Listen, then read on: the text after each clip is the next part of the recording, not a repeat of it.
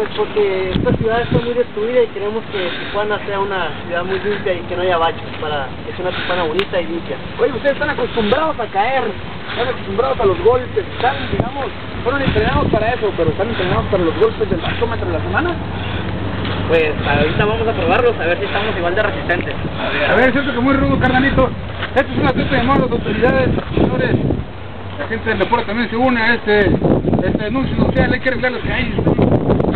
Sí, claro que sí. Como ustedes pueden ver aquí es un, ser un machómetro muy difícil. Cabe hacer hincapié que solamente trajimos tres llantas y somos cinco porque nosotros no somos gente común, somos gente preparada y a ver. Ay, no, ¿qué vamos a hacer? ¿Cómo? ¿Por qué nomás tres llantas y somos un cuatro llantas, somos cinco compañeros y tenemos llantas. Este es un anuncio, es un llamado para las autoridades para que se pongan las pilas. Solamente de las que vienen, canal. ¿vale? Así que ya vamos con la instalación del 8 metros, canal. Vale, pues ayúdanos. Tan, tan, tan, tan, tan.